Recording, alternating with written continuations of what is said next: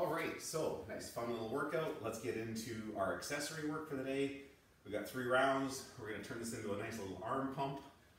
I don't know, there was a lot of core there. We got legs, shoulders, it was a total body today. So we're just gonna turn this into a nice little arm pump after an 18 minute WOD, um, which is definitely in the longer round. So, uh, first one, we're gonna do hammer curls. So, with that dumbbell pointing away from you, right? We're doing our hammer curls.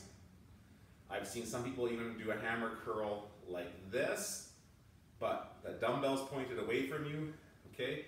That fist is pointed away from you, and that becomes our hammer curl. Okay, the big thing here, brace that core, don't hip them, okay? We don't want you hipping them. We want to isolate the, the arm, okay? After you're done that, we're gonna do 10 on one arm, 10 on the other, then we're gonna go upright rows. So standing nice and tall, bracing that core, again, just a single dumbbell, right? Getting that elbow high and above the shoulder, getting that dumbbell up to the shoulder, okay? We're gonna do 10 on each arm. After that, you're gonna grab your two dumbbells, we're gonna lay on the ground, and we're gonna work on those triceps a little bit, and we're gonna do some skull crushers. So we're here, right? Elbows are locked, they don't move, right? And we bring those dumbbells back to our head.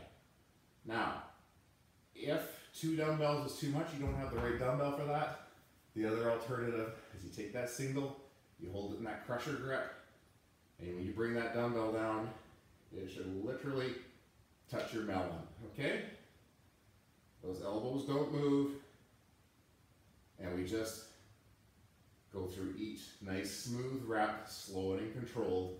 Um, and if you're doing it with a single dumbbell, I want you to even slow that rep down more so you get more negative because now we're working with just half the weight in each arm. So be even more deliberate in those skull crushers, okay? That's your workout. Happy Canada Day. Have fun with it. Can't wait to see some results posted.